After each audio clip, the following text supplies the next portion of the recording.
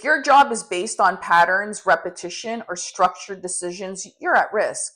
And here's the first wave that's already been hit legal assistants and paralegals, medical billing and coding clerks, customer service reps, tutors and ESL instructors, junior accountants, HR screeners, and admin staff.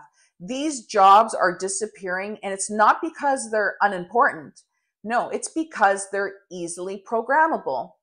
And the irony, they're more efficient than you were, and they're faster, and you're being replaced.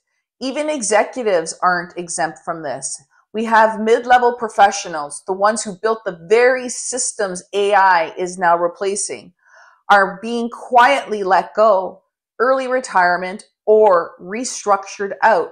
So it's not just a job they are taking or replacing.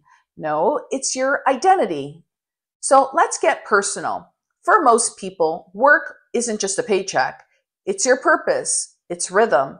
It's a reason to get out of bed in the morning. You get dressed. You're excited to wear your new outfit and go out for lunch with your colleagues to celebrate their birthday and to try that new restaurant that just opened up down the street from your office.